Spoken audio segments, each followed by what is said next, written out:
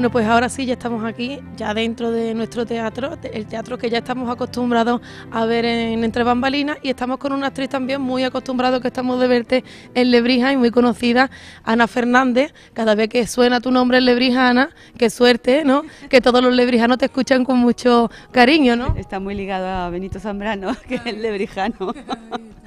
bueno, Ana, vienes al Teatro Municipal a representar eh, un espectáculo en el que eres una actriz única sobre el escenario. Sí, es un unipersonal, el lunar de Lady Chatterley, y, estoy muy contenta de, venir. Además, esta noche para mí esta función va a ser muy especial porque Juan Lu nos trajo aquí y murió este año y, se la dedico desde el alma. Oh, sí, Juan Lu todavía está, está y estará siempre, ¿no? Eh, parte importante dentro del teatro lebrijano, ya de la historia del teatro lebrijano. era un hombre que amaba mucho el teatro y, hacía posible que la magia del teatro viniera aquí. Es un, hombre con, mucho compromiso.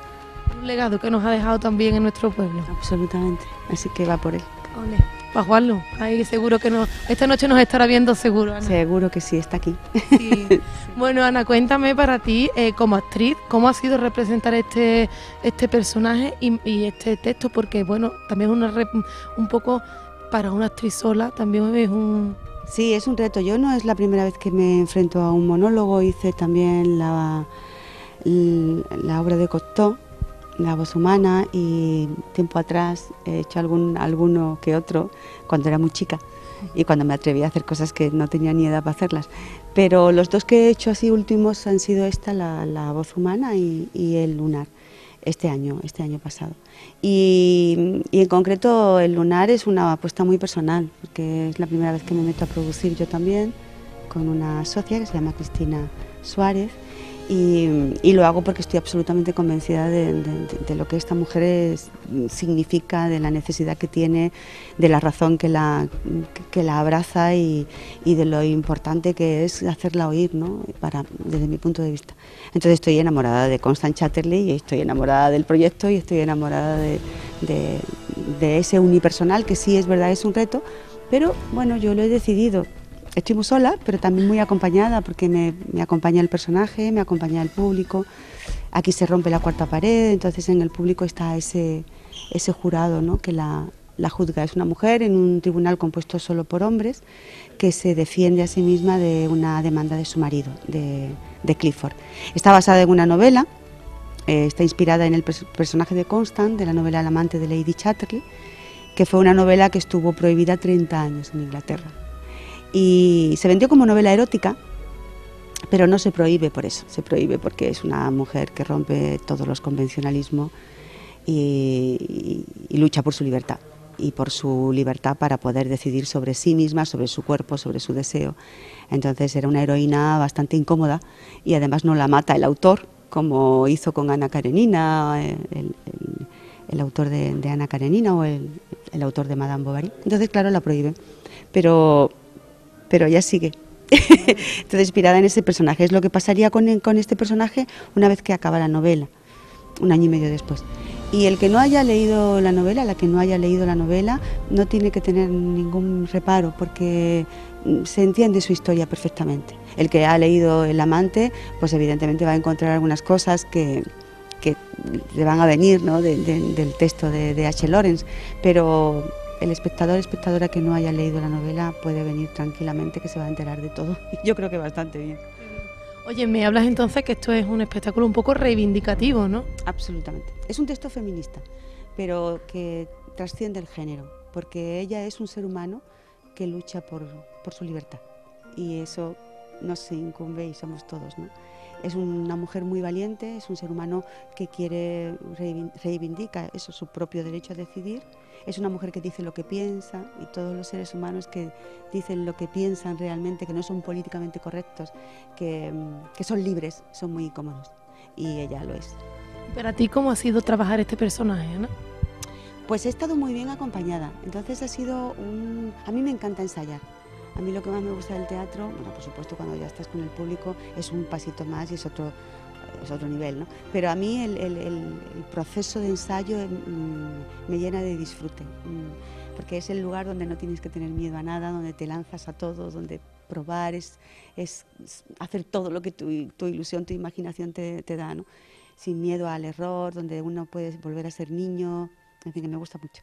Y en este, en este caso he estado muy arropada por, por todo un equipo, pero sobre todo he estado muy bien dirigida por Antonio Gil, con un texto que ya digo que confío plenamente en él, de Roberto Santiago, que lo ha escrito con esa parte femenina que tenemos, que tenemos que tienen todos los hombres, igual que nosotros tenemos nuestra parte masculina. Entonces esa parte femenina de Roberto es preciosa y la, y la ha dejado aquí plasmada. Y luego todo la acompaña, la acompaña esa escenografía que estás viendo de Sean McCowell, la música de Iñaki Rubio, eh, ellos que están aquí conmigo todo el tiempo. Entonces me he sentido muy, muy, muy, muy abrazada por gente que confiaba mucho en el proyecto. Entonces ha sido todo muy bonito.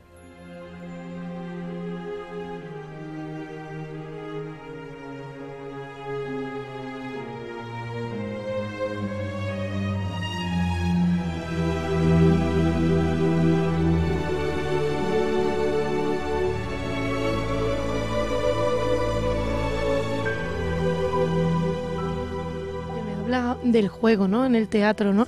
Y seguro que juegas de otra forma ahora que hace unos años. sí.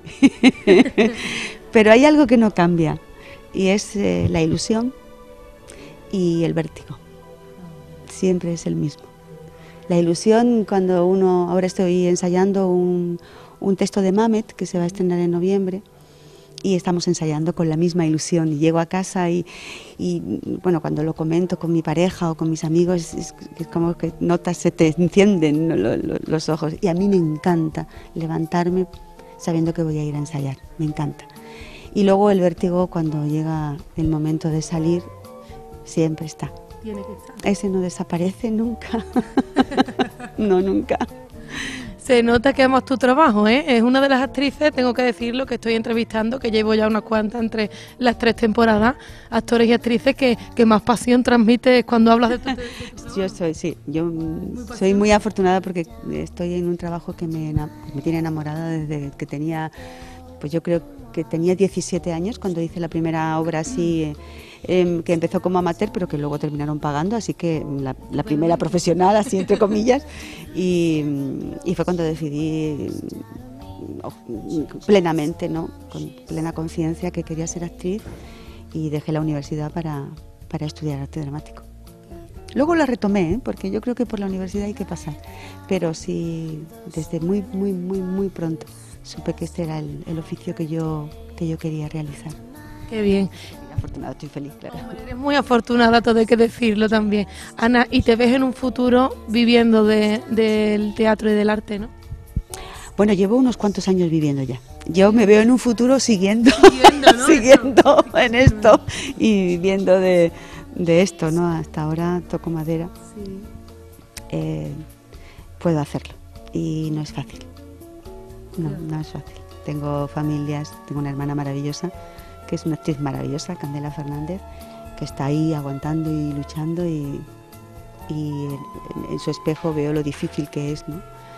Y para mí también lo ha sido, pero ahora mismo pues puedo decir que sí, que yo llevo unos años que me dedico única y exclusivamente a ser actriz, no a ser actriz, pero también trabajando en una tienda o no ser actriz siendo camarera o no ser actriz y, en, llevando a, señoras a pasear, cualquier trabajo paralelo, ¿no? Ser actriz y trabajar de secretaria, no, no. Yo soy actriz y trabajo de actriz hace ya algún tiempo.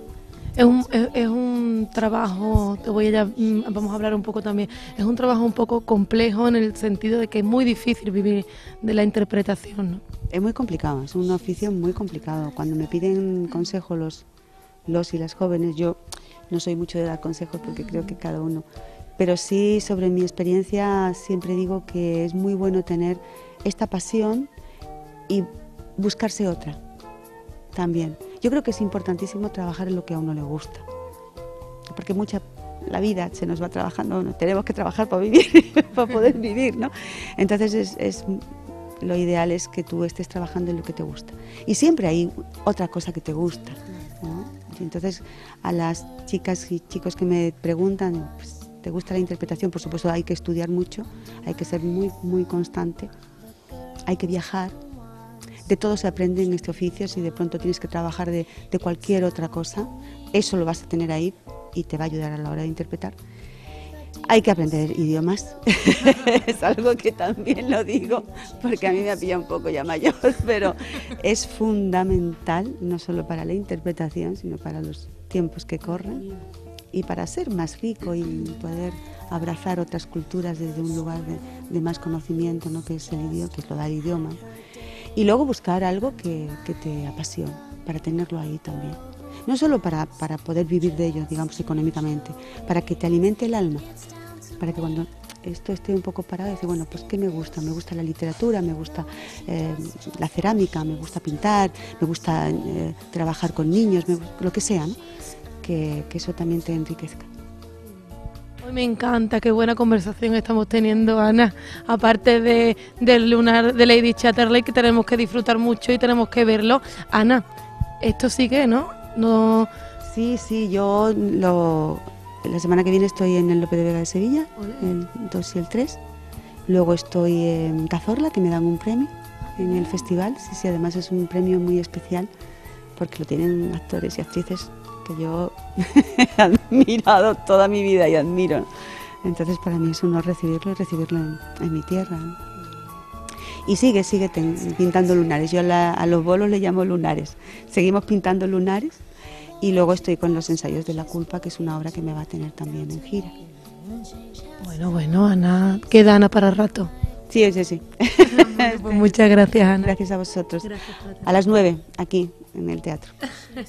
vamos a disfrutar un poco de, Ana y vamos a ver eh, unas imágenes pequeñitas, pequeñitas de, del lunar.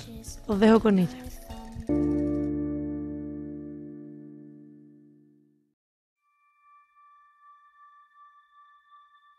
En definitiva, esta es mi propuesta. Este es el trato que propongo a la Fiscalía y a Sir Clifford con respecto a esta demanda. Que se vaya al diablo, que engulla su propia bilis y se pudra de dor, que coja su nobleza y su poder, y sus abogados, y su silla de ruedas con motor, en la que se ampara como si eso le diera derecho a todo por su infortunio, y que le parta un rayo. Por lo que a mí respecta, que se vaya al diablo. Creo, señoría, que es un trato justo.